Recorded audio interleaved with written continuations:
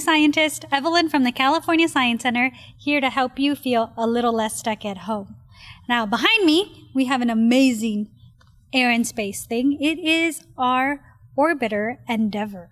I love it, it's great. And every time I'm in here, I think about all the amazing experiments that have been sent up into space to help us understand how things grow or how things function when you're up in space.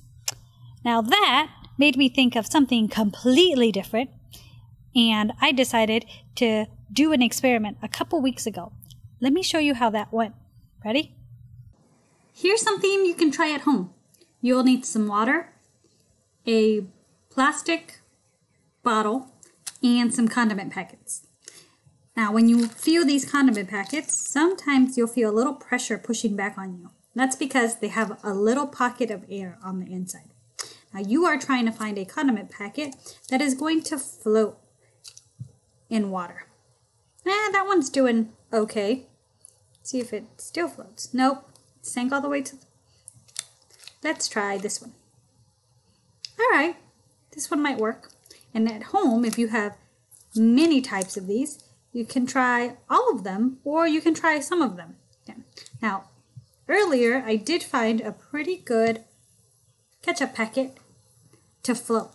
You can see I filled my water. There's a little bit of space at the top.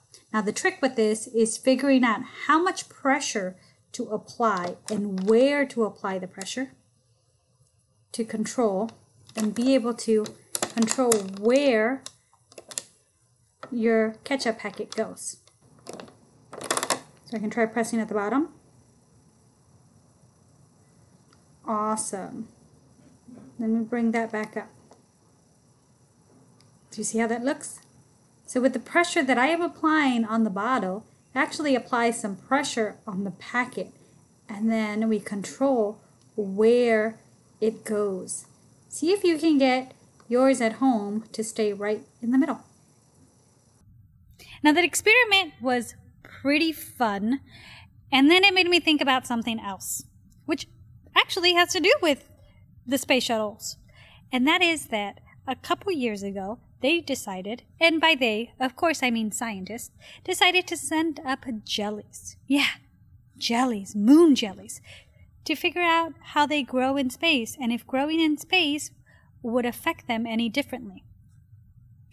Now, it was really cool, and we found out that it does have an effect to grow in space versus growing on Earth.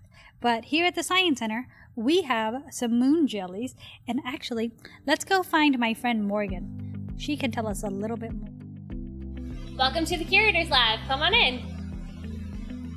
So, scientists, here today we have a couple of different stages of the jellyfish life cycle.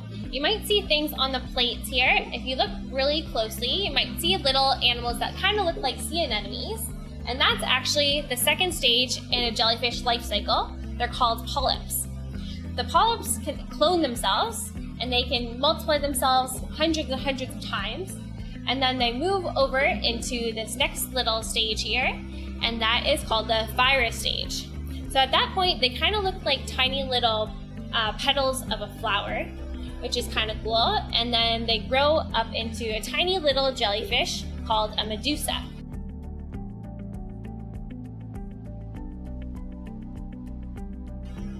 So when the medusa grow a bit bigger, I actually move them into this bottom space here, and you can see they've grown already in just a few months.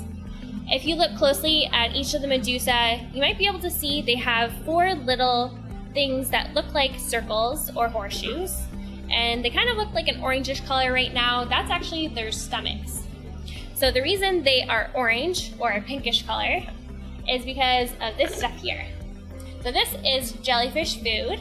They're called brine shrimp and it's hard to see, but in here there's actually hundreds and hundreds of tiny little shrimp, and I feed them to our jellyfish.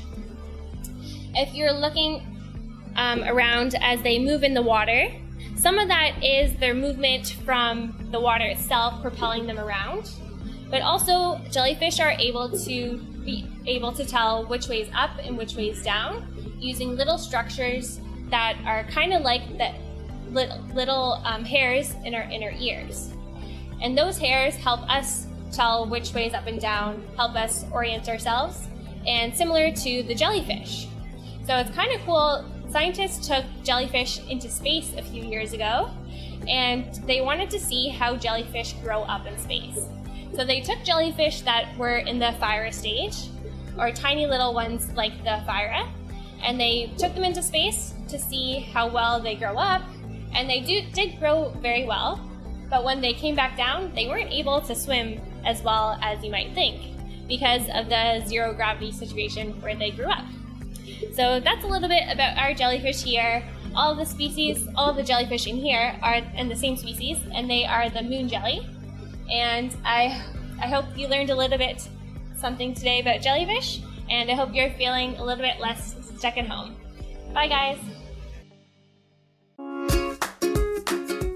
Sure to visit our website Monday through Friday at 10 a.m. for more stuck at home science activities.